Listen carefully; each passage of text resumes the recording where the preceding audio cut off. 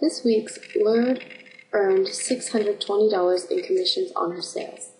This amount is $54 more than she earned last week. How much did she earn in commissions last week? Since this week she earned more, I want to subtract the $54 extra that she earned in order to find out how much she had earned last week.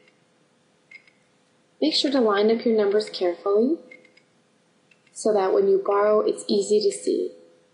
10 minus 4 is 6. 1 minus 5 can't be done, so I'll borrow from the 6. 11 minus 5 is 6, and 5 minus nothing is 5. So last week she earned $566. When you look at your grade, you'll see that there's blank lines for whole numbers, fraction symbols if you need it, and then decimal points if we need it.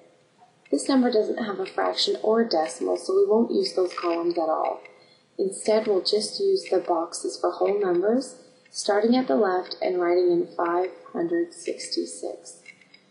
Your writing doesn't have to be too neat because you'll now fill in the bubbles for the 566.